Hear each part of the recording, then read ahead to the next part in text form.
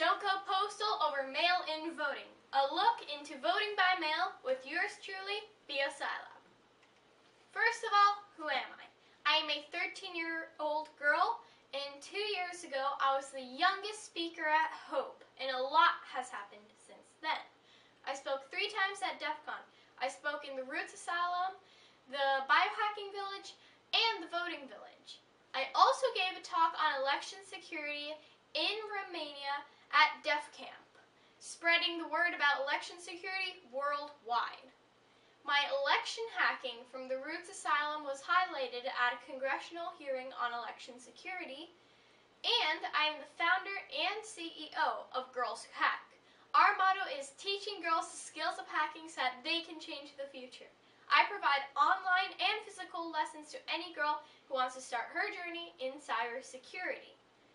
Speaking of my startups, I also started Secure Open Vote.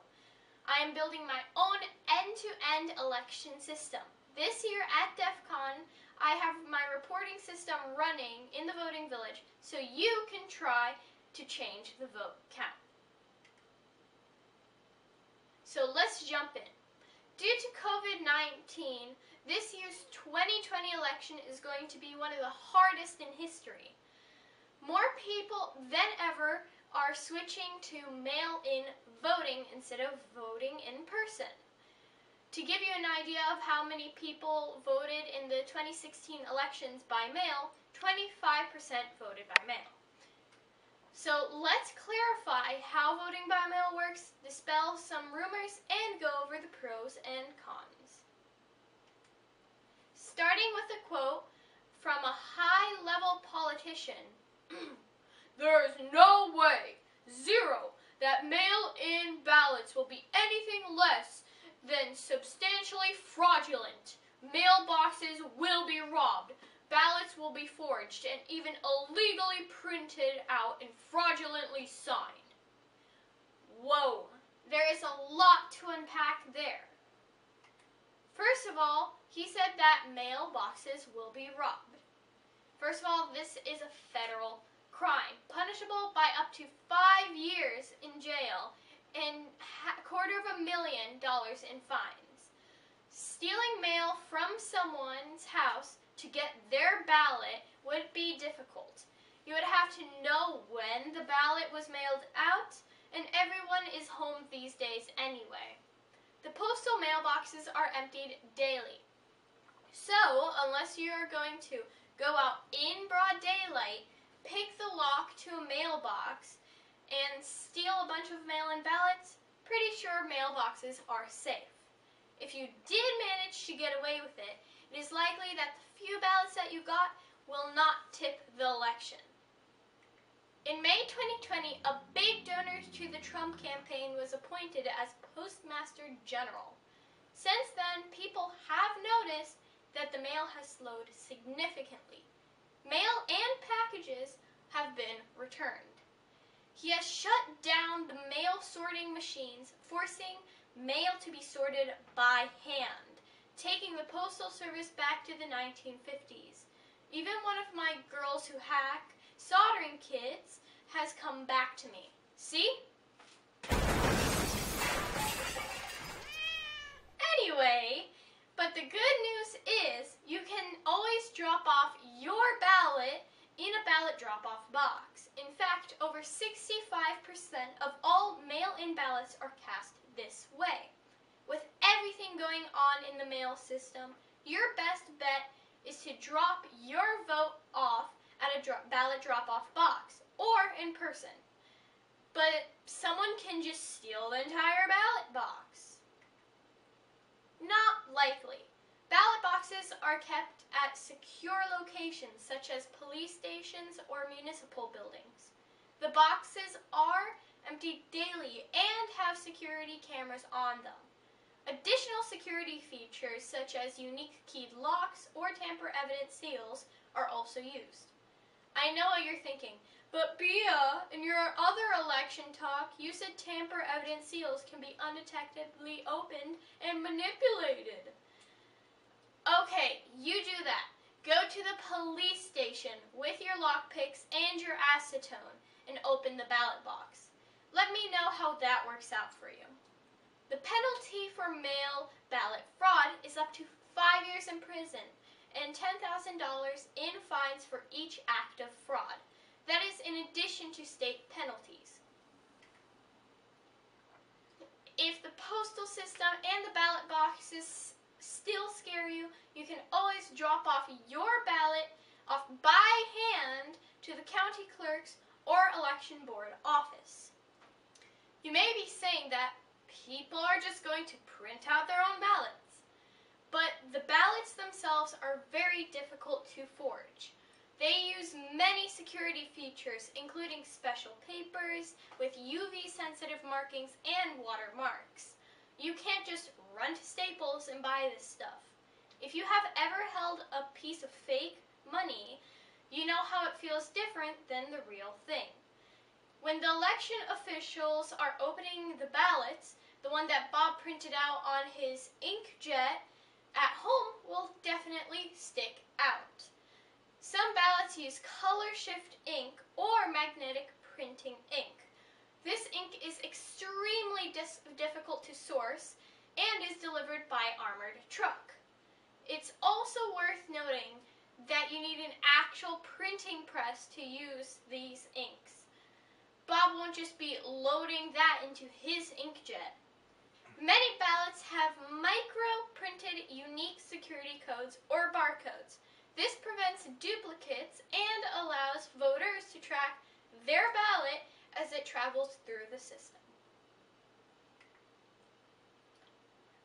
Another thing that this high official said is they will forge signatures, but the voter's signature is verified with their past signatures. Some states provide extra training for their election workers to spot forgeries. If an inconsistency is found, it is reported to the state prosecutor's office. But you can vote twice, once by mail and once in person. That's a big cup of nope. Mail-in ballots are due before the election. This gives election officials time to check the voter off the roll as voted.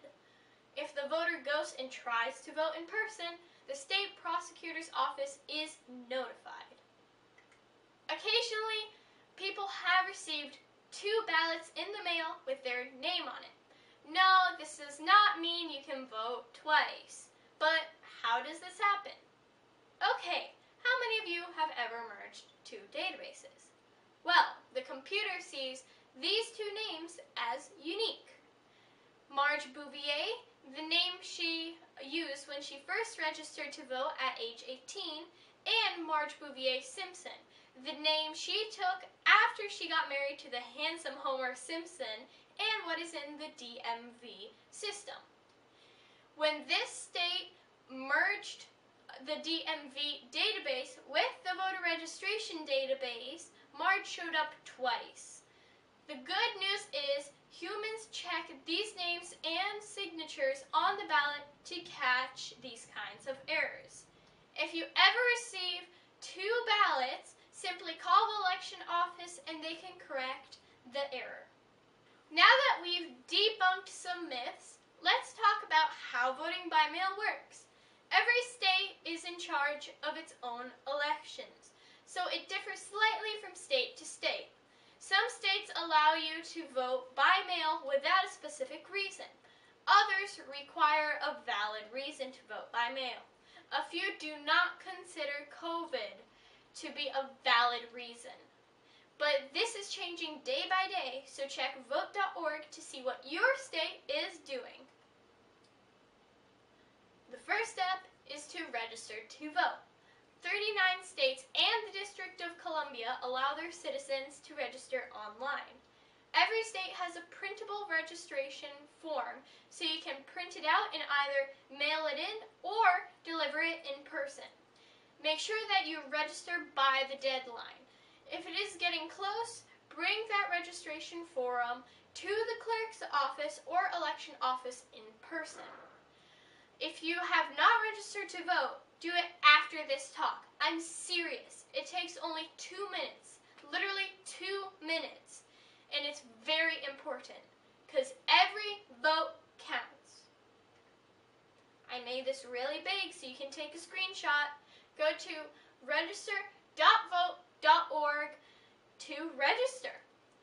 Vote.org has tons of great voter resources, including checking if you are registered, how to get a mail-in ballot, and a polling place locator and election reminders. Next, make sure you're eligible to vote by mail. Currently, five states have an all mail-in ballot election. 28 states and the District of Columbia have a no excuse absentee voting, which means you can just vote by mail without having to give a specific reason. In 17 states, you need a valid reason. This differs from state to state. Some reasons include old age, being infirmed, or out of state.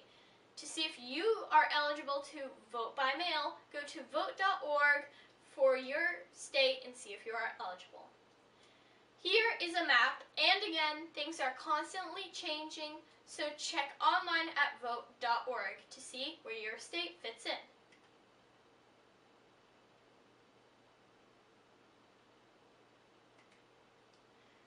Next, you have to request an absentee ballot. If you have not done this, do it now. After my talk, go and request your absentee ballot. This will give them time to add you on the list and mail out your ballot. Guess what? You can do this at vote.org. When you finally receive your ballot, sit down and fill it out right away. Don't put it in a pile of bills and junk mail you are ignoring. Sit down and just fill it out. One of the great things with mail-in ballots is you can research the candidates. Get your OSINT on and find out what each candidate is all about. Who knows, perhaps that school board member actually owns a chocolate factory. COVID is a valid reason for many to vote by mail and should be considered valid by all states. If a voter is immune compromised or lives with someone who is not allowing them to vote by mail is a form of voter suppression. Voting in person also brings the risk of COVID to the election workers, many of which are elderly retirees, putting their lives in danger just so you can vote in person. The poll workers also have to clean the machines between each vote, slowing the process and lengthening the poll lines. It also forces people to go to extremes to protect themselves. This lady had to wear a trash bag. Now that's one fashion statement that should never be made. In many states, processing of mail-in ballots can begin as soon as they are received. Other states do this anywhere from one month to the day of the election. By permitting election officials to do a lot of the work ahead of time, the counting process on election day will be quicker. It's important to note that if ballots are counted ahead of time, the results are not released before election day. Regardless of how they are counted, this is a great opportunity to perform a risk limiting audit. And every state should do this. You have everything you need, hand-marked paper ballots and people to count them. But mail-in voting has tons of fraud. Between 2000 and 2014, over a billion mail-in ballots were cast, and a professor at Loyola School of Law found only 31 cases of fraud. There are many benefits to mail-in voting. Voter turnout is 10% higher, and it does not seem to be one party or another. It reduces some voter suppression, like poll intimidation, or people who have to travel a great distance to vote and have no transportation, or people who have to work on election day, which should be a national holiday, by the way. It also protects from attacks by foreign actors. Kind of hard to hack a piece of paper, isn't it, Putin? One of the biggest benefits is it speeds up the election process. No long lines at polls or people not being able to vote because of crashing e-poll books or slow election machines. The two most important things are it's a hand-marked paper ballot and it allows for better informed voting. No more just randomly picking school board members. Remember this guy? The high-ranking government official from earlier voted by mail in 2017, 18, and 20. I guess the system is good enough for him, so why shouldn't it be good enough for us? And remember, get involved, become a poll worker, see how the system works firsthand, and give those old retirees a break, especially during COVID. You could actually save a life by becoming a poll worker. Don't want to go outside and see people? I don't blame you. Not a problem. You can lend your cybersecurity knowledge and skills to those who need it most by becoming a Cyber Surge volunteer. This can be done by remote. You can do this by contacting this email or going to this site. Most important thing you can do is vote. Register to vote at vote.org and be counted. Thank you for listening to my talk, and don't forget to vote BiaSciLab for President in 2044. This message paid for by BiaSciLab for President 2044.